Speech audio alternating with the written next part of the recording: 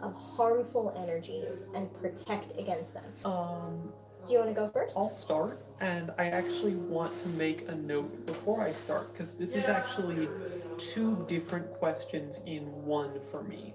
So the so how do I protect myself against harmful energy and cleanse them when there is something, someone or something outside myself that means to do harm?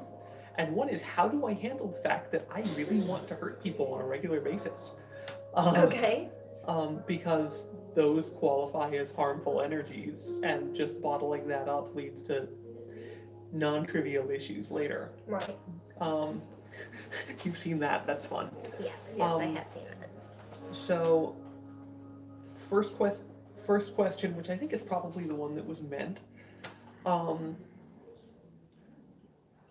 start with lots and lots of shielding. Um, and in my case, I most of my shielding is wrapped up in the belief that none of what people are throwing at me to hurt me is actually going to stick, and essentially believe that hard enough and it works. Um, which is kind of cheating, but is also highly effective. Um, as far as cleansing, because okay, regardless of like artful dodging of active, negative, harmful intent, there's a certain malaise that sh- that I wind up with every day when I get home from the office because I can't really avoid it. It's Sticks to you there. from your office environment. yeah. Um, and I've actually been struggling with this a little bit um, because it also plays into my neurochemistry and they bounce back and forth and are really fun. Things I've had luck with in the past um, showering. Um, because it provides a clear transition. Water is a cleansing and grounding force to begin with. Um, the soap that I use happens to be a black clay soap, which is also a cleansing and grounding it's- thing. Irish black blackmore mud with volcanic salt in It's it. awesome. Yeah. Um, but there are also days when I'm dealing with depression and the idea of showering is just way too much. Um, what I've been having success with lately has actually been music. Um, and this is sort of a personal thing for me, but I've been finding, I've been having success with so there's there's an idea that essentially matter and energy are forms of vibration. So is magic. So sound. And you and the idea of sound cleansings is actually reasonably widespread. The most sort of infamous example of this being get in this giant crystal singing bowl and I'm going to play it and you will be cleansed which sounds like an incredibly intense experience, but I don't own a giant singing bowl. So instead, do own a little singing I do own a little singing bowl. Um, but I've had luck with either getting out my violin and playing it away, or with listening to certain classical music. Paganini's been good for this. Paganini's amazing. Um, It's my second favorite composer. yeah, Okay, Um, so vibration yes. So for me, water or vibration um, and water drumming on your body is a kind of is a vibration. kind of vibration in and of itself. Cool. Um, Have you combined these to great effect for you? Like, do you play the music while you shower, or are you like me, and if you're playing music while you're in the shower, you're convinced someone's taking it to murder you? No, I don't have I don't have that problem. I just don't generally combine the two of them because electronics, running water, bad combination. Um, you say to the person who regularly reads on her cell phone in the bath. yeah, but baths work better for that than showers. Okay. Um, All right. So, um, if I was answering this from like the folk magic perspective, it would be something like mix yourself up some witch's salt in some holy water and go dump it on your head while jumping backwards underneath a new moon.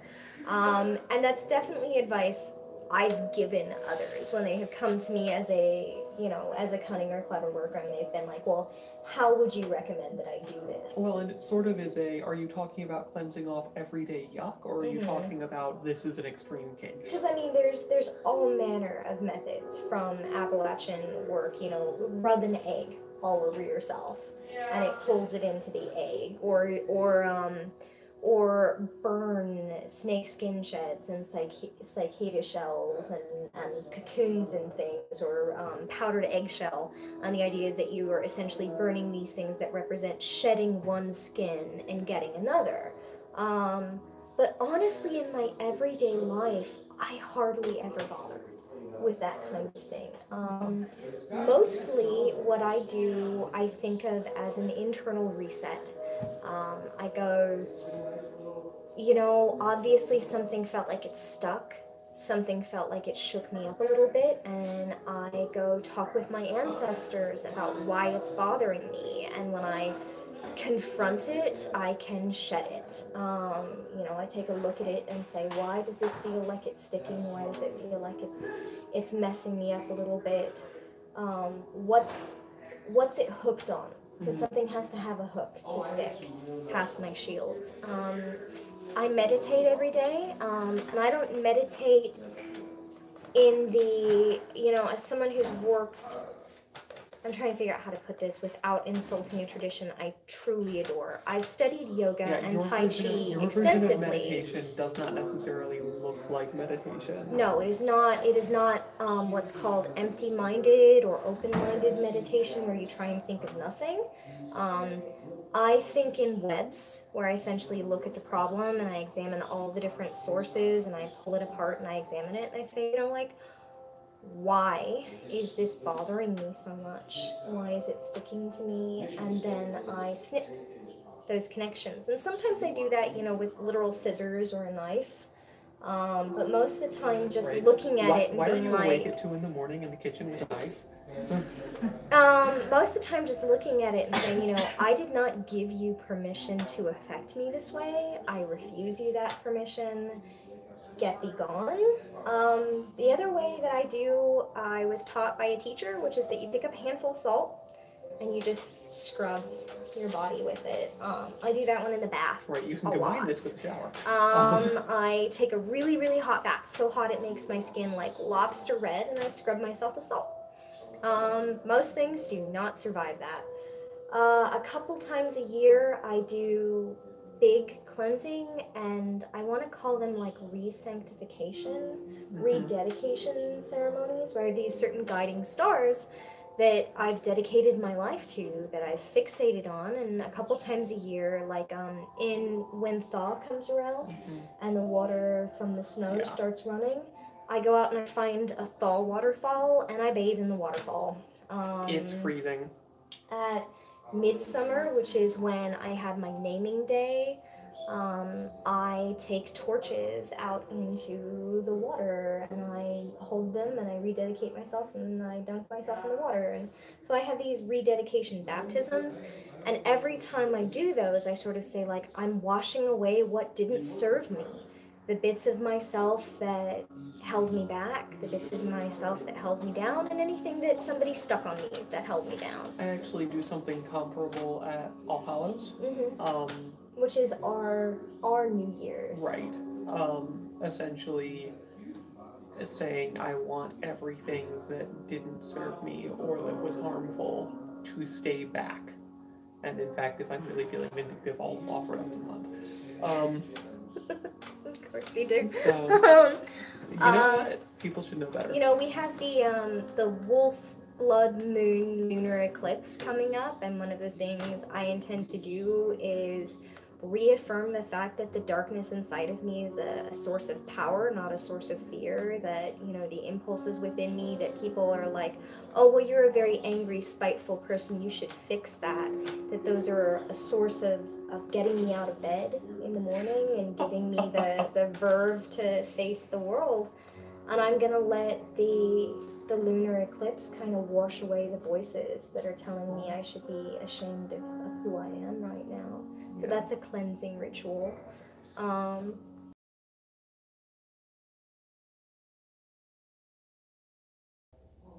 So my general day-to-day protection um, is honestly like like I mentioned earlier, it's kind of based on almost arrogance, um, but sort of a belief that what I'm being exposed to can't actually harm me unless I let it, and I choose not to let it. Um, when I'm intentionally entering a more magically dangerous or risky situation, whether that's going out and picking fights while hedge walking, or whether that's going into like an exorcism or home cleansing, um, I do. I want you all to know that somebody left message that we should sacrifice a small lamb. And the thing is, I have totally killed a goat for my magical practices and eaten that goat, but it wasn't to Satan because Satan's the archangel of temptation. And uh, I Also don't work with him because I think the whole like, I'm going to tempt you to do bad so that my abusive God can punish you for it is really messed up. But I would totally sacrifice a goat to, say, Lucifer, who is the um, light bringer. Um, but I don't worship Lucifer, and I think you'd get the wrong message from me giving him a goat. I was Sorry. saying something and I don't actually remember what. You were talking about. Oh, um, more intense protection. Um, so if I'm doing the hedge walking version, it's literally constructing myself armor, impenetrable barriers, things like that, because I lucid dream and I can lucid dream in a shared dream space too. It works. Um, we did get another question. if it's and then we'll something- finish with the how to protect ourselves one. Okay, if it's something like um, going into a house for an exorcism, so mm, I actually find that essentially meditating and increasing my level of self awareness is more effective than any shielding technique I've ever tried. So you go for gnosis as protection. I go for gnosis as protection. I know. You are a drunken monk. Yes. Um, I go for I know myself, I know what is around me, and I know that now something is trying to influence me. And that means I've identified it and can discard and can discard or disregard it. Um, it's actually a fairly similar approach that I take to um, to self protection in social situations of trying to just be fully aware of everything that's happening and the implications thereof. As an aside, one of the things that Ian sometimes suffers from is um, data overwhelming him. Yeah. like having taken in too much information and needing to go and like deprive himself from information I- incoming. I will absolutely go sit in a dark room with either complete silence or like low level ambient music, not doing anything for a while because I get overloaded. Um, there So are, definite, that- that there are definitely- definitely drawbacks to this method.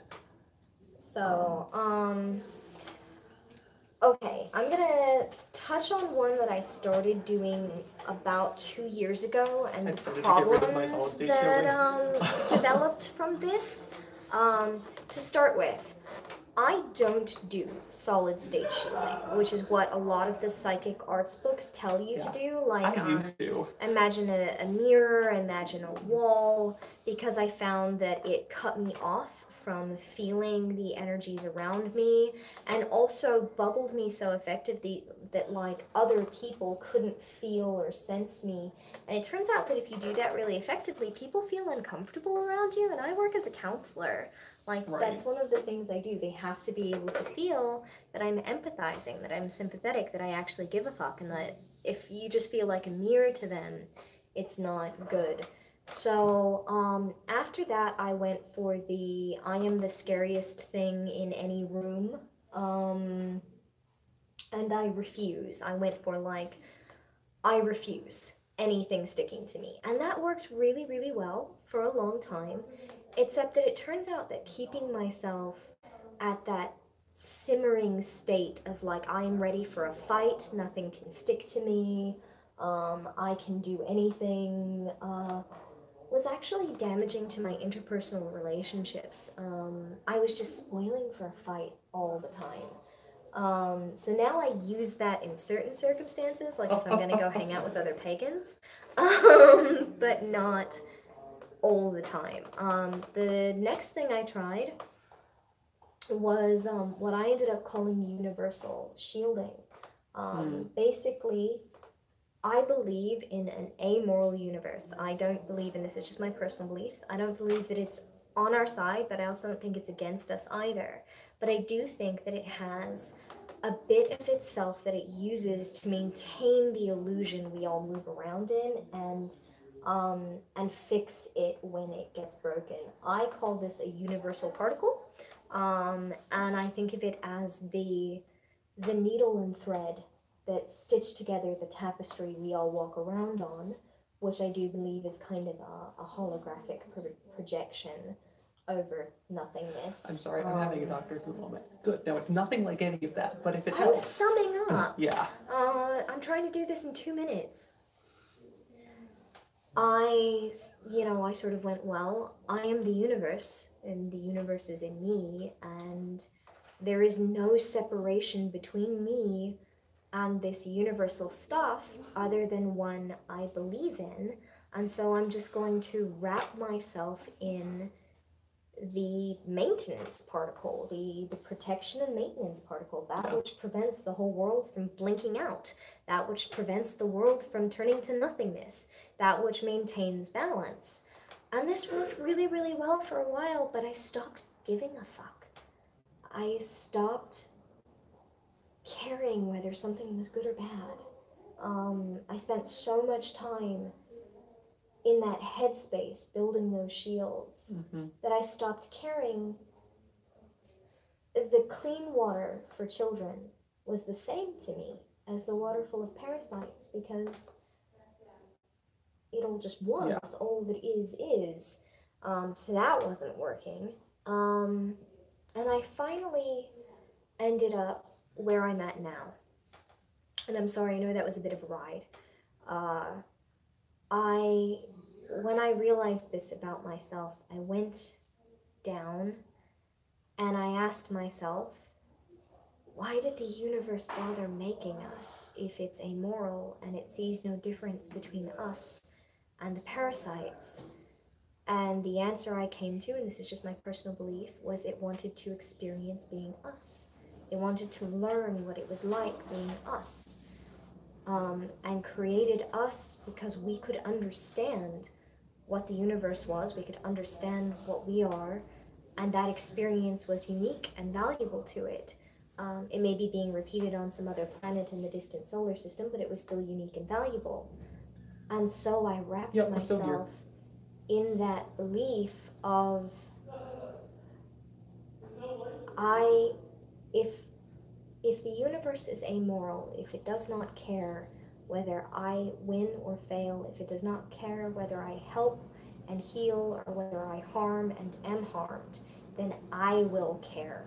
And because I am the universe itself, my caring is enough to wrap myself in protection and power and get me through helping others. So I am wrapped in the surety of my purpose. Yeah, I can't actually make that work for me. There's um I don't know if that made any sense. I hope it did. I'm still meditating on these concepts, so right, still making progress. I was on it. doing the other version up to about three months ago, so um yeah.